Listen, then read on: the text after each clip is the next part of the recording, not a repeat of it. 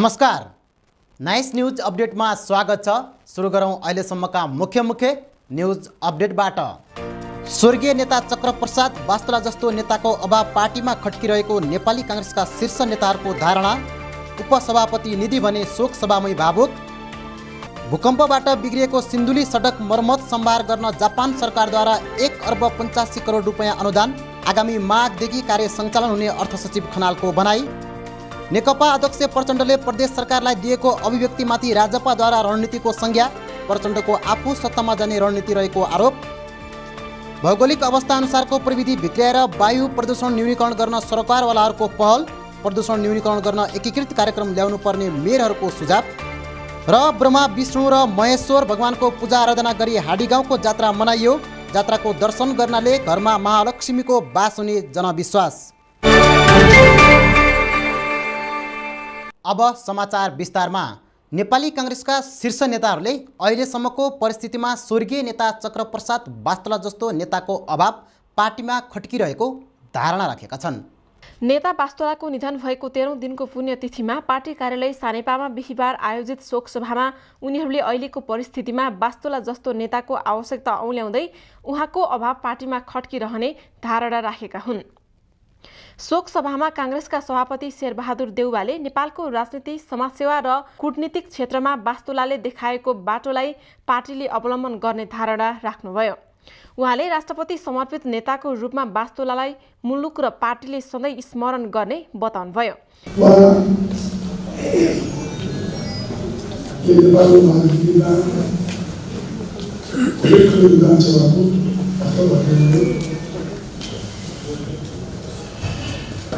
उहाँ के नेपालको महाराष्ट्रमा ठुलै ठुलो विधानसभाको अथवा भएको अन्त उहाँले धेरै ठोकाउनु धेरै जिल्ला धेरै सङ्घर्ष गर्नु त्यसका बावजुद पनि यो माओवादीसित भर्ता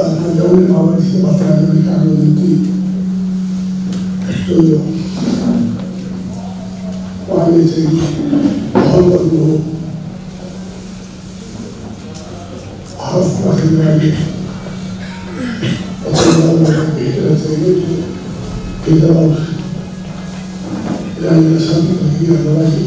यहाँनिर शान्ति प्रक्रियाको लागि धेरै ठुलो विधानसभाको त्यसको लागि उहाँले धेरै योगदान गर्नुभएको छ यस कारणमा शान्ति प्रक्रियामा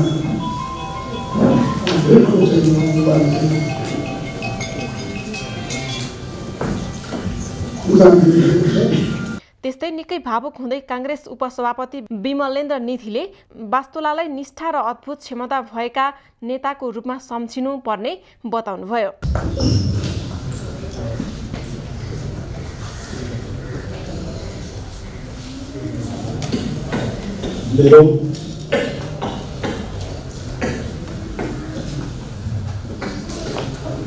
म विद्यार्थी हुँदा नेपाल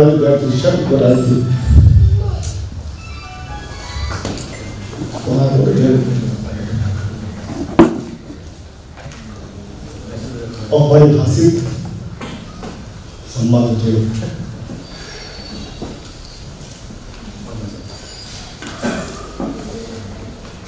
राजनीतिक सम्पर्क नै भयो उहाँसँग मेरो पछि अत्यन्त मैत्रीपूर्ण दाजुभाइ जस्तो विकसित हुने भयो अर्थात् प्रारम्भ भयो राजनीतिक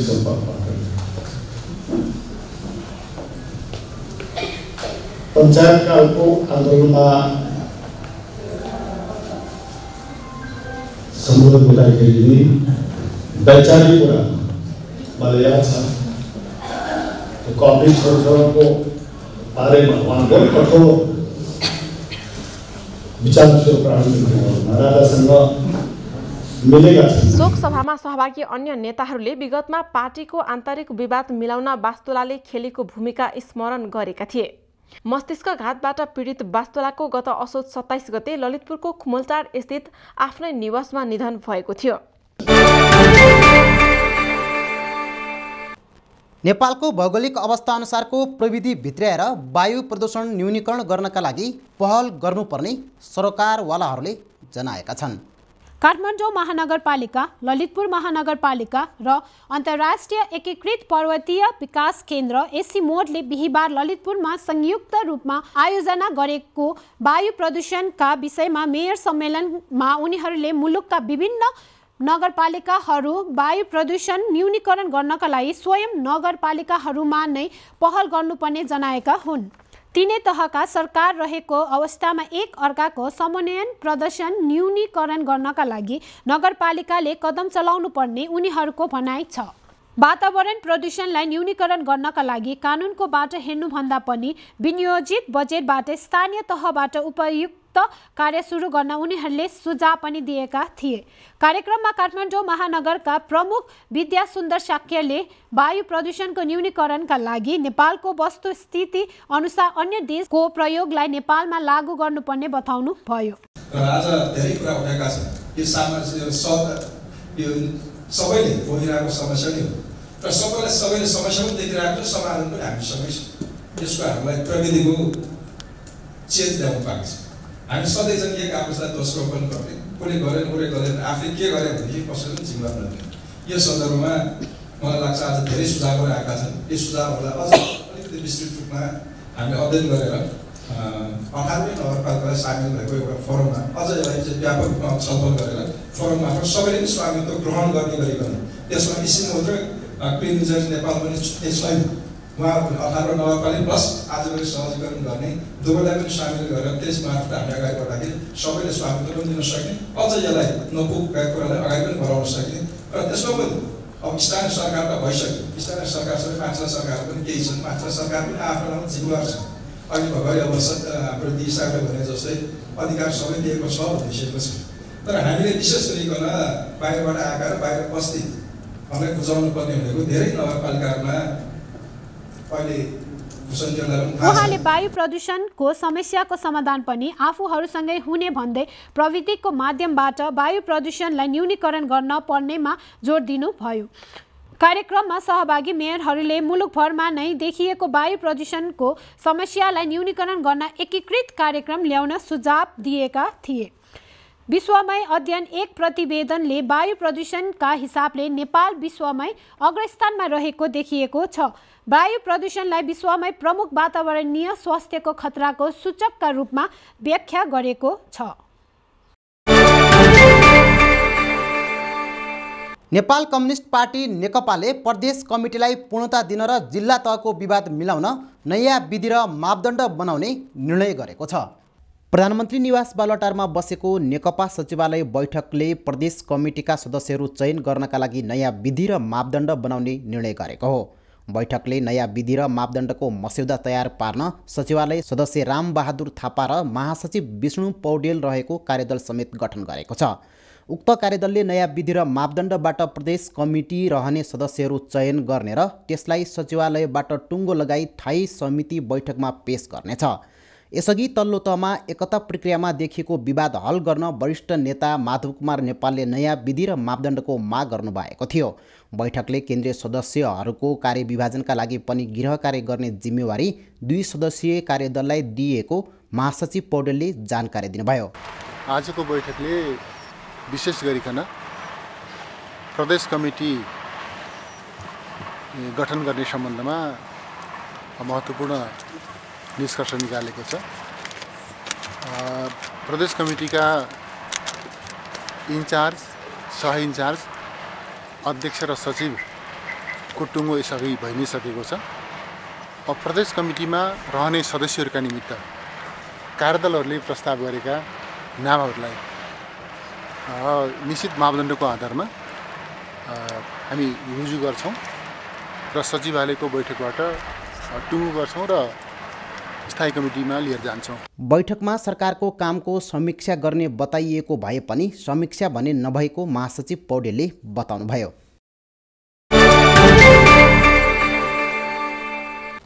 राजपा नेपालका उपाध्यक्ष विशेष चन्द्र लालले नेकपाका अध्यक्ष प्रचण्डले जनकपुरमा गएर प्रदेश सरकारलाई ओभरटेक नगर्न दिएको अभिव्यक्तिलाई रणनीतिको संज्ञा दिनुभएको छ। उपाध्यक्ष लालले जनकपुरमा दुई नम्बर प्रदेशमा राजनीतिक रणनीतिका लागि नै प्रचण्डले सरकारलाई ओभरटेक नगर्न अभिव्यक्ति दिएको टिप्पणी गर्नुभयो। आफू सत्तामा जाने दमा सङ्घ प्रदेशबीच द्वन्द्व चर्काउने रणनीति प्रचण्डको रहेको उहाँको भनाइ छ। उहाँले मुलुकमा अराजकताको स्थिति आयो भने यसको सम्पूर्ण जिम्मेवारी सङ्घीय सरकारको हुने समेत बताउनुभयो।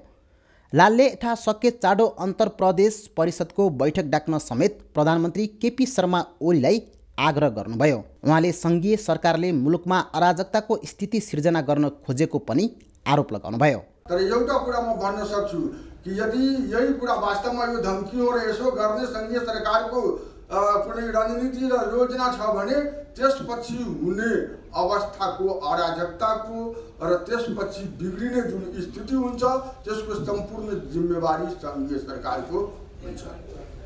तर साथीहरू यसमा धेरै चिन्ता लिनुपर्ने आवश्यकता छैन।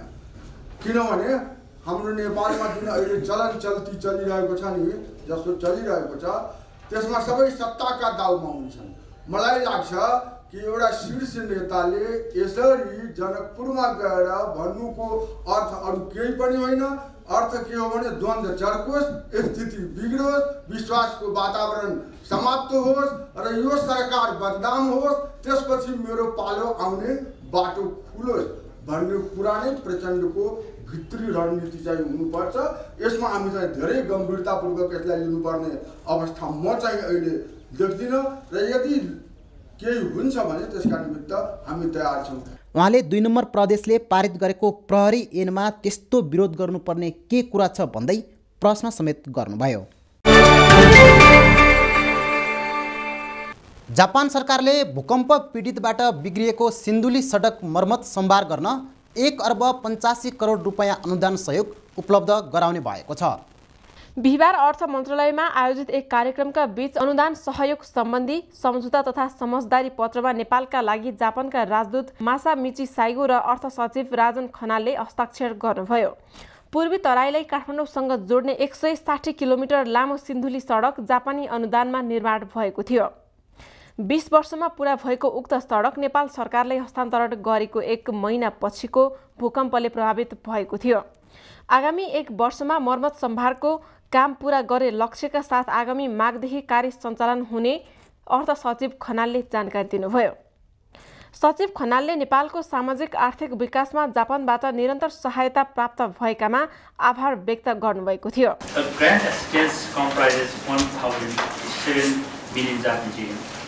It went to 1,094 million Nepalese rupees.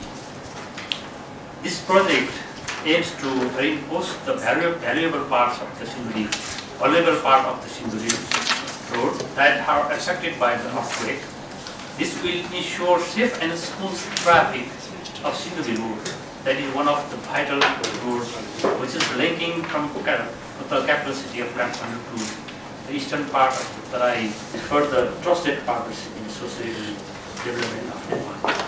Your Excellency, I am again very much happy that this road is passed through my hometown. So I am again happy to say these words in this. त्यस्तै राजदूत साइगोले नेपालको कृषि उत्पादनलाई बजारसम्म पुर्याउने बालबालिकालाई विद्यालय तथा पर्यटन प्रबन्धनका निम्ति महत्त्वपूर्ण सिन्धुली सडक पुनर्निर्माणमा जापानले पुनः सहयोग गरेको बताउनुभयो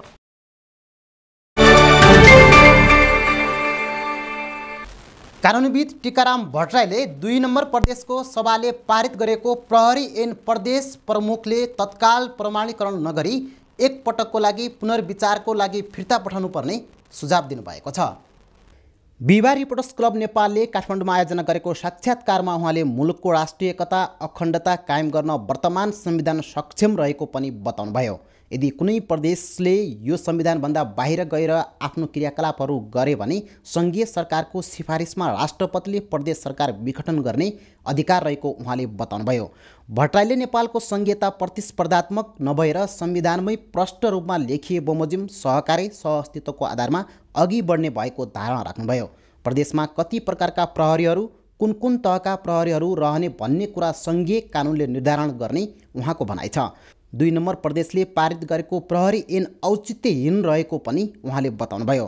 यो संविधानको प्रष्ट रूपमा संविधानले नै सहकारी सहअस्तित्वका आधारमा र समन्वयका आधारमा सङ्घ र प्रदेशको सम्बन्ध हुनेछ भनेको हुनाले सङ्घ र प्रदेश बिना सङ्घ र प्रदेशको परामर्श समन्वय बिना यो हाम्रो सङ्घीयता चल्ने परिकल्पना संविधानविदहरूले गरेनन्। एक नम्बर कुरा। दुई नम्बर कुरा संविधानको अनुसूची छमा प्रदेश प्रहरीको परिकल्पना गरेकै छ। प्रदेशलाई कहिले पनि प्रहरी ऐन जारी गर्ने अधिकार छैन भन्न खोजिएको होइन। प्रहरी ऐन जारी गर्ने अधिकार संविधानले प्रदेश सभालाई दिएको छ। तर त्यो कहिले दिएको छ र कसरी कुन बिन्दुबाट त्यो लागू हुन्छ भनेर हेर्दा संविधानको धारा सन्ताउन्नको उपधारा छमा प्रष्ट व्यवस्था गरिएको छ। साक्षात्कारमा काङ्ग्रेसका नेता एवं प्रदेश नम्बर सातका प्रदेश सभा सदस्य भरतबहादुर खड्काले प्रदेश सरकारलाई प्रभावकारी रूपमा सञ्चालन गर्नुपर्नेमा प्रधानमन्त्री केपी शर्मा ओलीले अधिकार दिन कन्जुसाई गरेको आरोप लगाउनुभयो। समयमा ती विधेयकहरू पास गर्ने कि नगर्ने? त्यसैले गर्दाखेरि तिनै तहका सरकारहरूको व्यवस्था पनि संविधानमा यहाँ विद्वान साथीहरू पनि मैले देखेको छु सह अस्तित्व र सहकारिताको आधारमा व्यवस्थापन गरेको छ। तिनै तहका सरकारहरू। त्यसैले यसलाई अत्यन्त जिम्मेवारीपूर्वक यसको समन्वयकारी भूमिका केन्द्रीय सरकारले गर्नु पर्ने हुन्छ। केन्द्रीय सरकारले समानताको आधारमा अभिभावकत्व लिएर यसको चाहिने सही ढङ्गले व्यवस्थापन गर्नुको विकल्प छैन। प्रधानमन्त्री आफूहरूको पनि अभिभावक भएको बताउँदै उहाँले प्रधानमन्त्री ओलीले बोल्ने भाषा चित्त बुझ्दो नभएको टिप्पणी गर्नुभयो। दसैँको अन्तिम दिन कोजाग्रत पूर्णिमाको अवसरमा बुधबार राष्ट्रपति विद्यादेवी भण्डारीले भक्तपुरको प्रसिद्ध नवदुर्गा मन्दिरमा सरिक भई नवदुर्गा भवानीको पूजा अर्चना गर्नुभएको छ।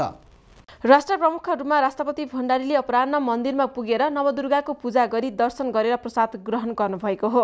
नवदुर्गाका मूल पुजारी जुलाल कर्मचार्यले राष्ट्रपतिलाई नवदुर्गा भवानीको जमरा एवं टिका प्रसाद प्रदान गर्नुभयो भने अर्को पुजारी इन्द्रबहादुर वनमालाले उहाँलाई नवदुर्गाको प्रसाद फुलमाला बिमिरो र पञ्चरङ्गी धागो प्रदान गर्नुभएको थियो।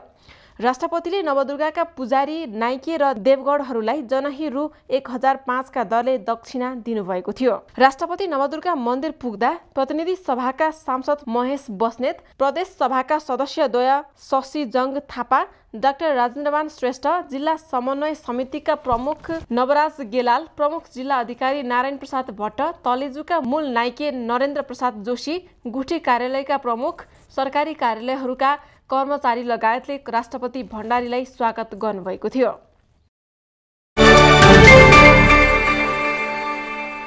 ब्रह्मा विष्णु र महेश्वर भगवानको पूजा आराधना गरी टोल टोलमा रथ कुमाएर बिहिबार काठमाडौँको हाँडे गाउँको जात्रा मनाइएको छ। विशेष प्रकारको फुल र रथ परिक्रमा गरिने छुट्टै मौलिकता र विशेष पहिचान बोकेको हाडीगाउँको जात्रा प्रत्येक वर्षको बडा दसैँको कोजाग्रत पूर्णिमाको भोलिपल्ट काठमाडौँको हाडी गाउँमा मनाइँदै आएको छ। विश्वकर्माले बनाएका यी त्रिदेवको एकैपटक दर्शन र पूजाका साथै जात्राको दर्शन गर्नाले घरमा महालक्ष्मीको बास र मनोकामना पुरा हुने जनविश्वास छ। जात्राका दिन दर्शन र पूजाका लागि तिनवटै रथ तिनवटा भिन्न चोकमा राख्ने र घरबाट आएर पूजा गर्ने चलन छ। अन्य जात्रामा माथि गजुर र तल भगवान्को मूर्ति अर्थात् आकृति हुन्छ भने हाडीगाउँको जात्रामा यसको ठिक उल्टो अर्थात् तल गजुर र माथि देवताको मूर्ति राखिन्छ।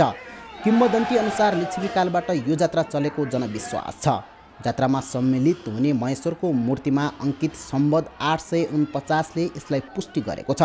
तत्कालीन समयमा हालको हाडी गाउँलाई हरिग्राम भनिन्थ्यो। ब्रह्मा विष्णु र महेश्वरले यस स्थानमा बसोबास गर्ने गरेको किम्बदन्ती छ।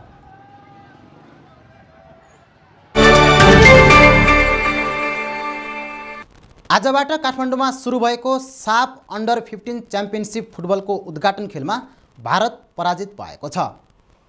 अखिल नेपाल फुटबल सङ्घ एन्फा मैदान सातो बाटोमा भएको प्रतियोगिताको पहिलो खेल भारत पाकिस्तानसँग दुई एक गोल अन्तरले पराजित भएको हो। पहिलो हाफको एकतिसौँ मिनटमा गोल गर्दै पाकिस्तानले सुरुवाती अग्रता बनाएको थियो। पाकिस्तानका लागि अन्दान जस्टिनले गोल गर्दै अग्रता दिलाएका हुन्। पहिलो हाफमा एक गोलले पछि परेको भारतका थलाचुईले त्रिपन्नौ मिनटमा बराबरी गोल गरेका थिए। भारतमाथि दबाव रहेको पाकिस्तानका लागि वासिफले उन्चासौँ मिनटमा गोल थप्दै दुई एक अवस्थामा पुर्याएको थियो। त्यसपछि अतिरिक्त गोल हुन नसकेपछि पाकिस्तान विजय भयो।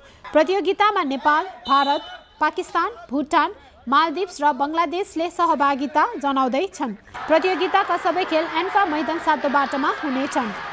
प्रतियोगिताको समूह एमा नेपाल बङ्गलादेश र मालदिप्स तथा समूह बीमा भारत भुटान र पाकिस्तान छन्। श्रीलङ्का प्रतियोगितामा सहभागी छैन। प्रतियोगिता कार्तिक सत्र गतेसम्म चल्नेछ। प्रतियोगिता अन्तर्गत नेपालले दोस्रो खेल बङ्गलादेशसँग शनिबार खेल्नेछ। सन् दुई हजार तेह्रबाट आयोजना हुँदै आएको प्रतियोगितामा नेपाली टोली अहिलेसम्म उपविजेतामै सीमित हुँदै आएको छ। सन् दुई हजार सत्रमा नेपालमै भएको प्रतियोगितामा नेपाल उपविजेतामा सीमित बनेको थियो। प्रतियोगिताको चारै संस्करण खेलको नेपाल दुई पटक फाइनलमा हारेको थियो। यसअघि भएका तीन संस्करणमध्ये भारतले सन् दुई हजार तेह्र र सत्र तथा बङ्गलादेशले सन् दुई हजार पन्ध्रमा उपाधि जितेको थियो। अन्त्यमा प्रमुख समाचार पुनः एकपटक। स्वर्गीय नेता चक्रप्रसाद वास्तुला जस्तो नेताको अभाव पार्टीमा खट्किरहेको नेपाली काङ्ग्रेसका शीर्ष नेताहरूको धारणा उपसभापति निधि भने शोक सभामै भावुक। भूकम्पबाट बिग्रिएको सिन्धुली सडक मर्मत सम्भार गर्न जापान सरकारद्वारा एक अर्ब पञ्चासी करोड रुपियाँ अनुदान आगामी माघदेखि कार्य सञ्चालन हुने अर्थ सचिव खनालको भनाई। नेकपा अध्यक्ष प्रचण्डले प्रदेश सरकारलाई दिएको अभिव्यक्तिमाथि राजपाद्वारा रणनीतिको संज्ञा प्रचण्डको आफू सत्तामा जाने रणनीति रहेको आरोप। भौगोलिक अवस्था अनुसारको प्रविधि भित्र्याएर वायु प्रदूषण न्यूनीकरण गर्न सरकारवालाहरूको पहल प्रदूषण न्यूनीकरण गर्न एकीकृत कार्यक्रम ल्याउनु पर्ने मेयरहरूको सुझाव र ब्रह्मा विष्णु र महेश्वर भगवानको पूजा आराधना गरी हाडी गाउँको जात्रा मनाइयो। जात्राको दर्शन गर्नाले घरमा महालक्ष्मीको बास हुने जनविश्वास। अहिलेलाई नाइस न्युज अपडेट यही सकिन्छ। नाइस टेलिभिजन हेर्दै गर्नुहोला। नमस्कार।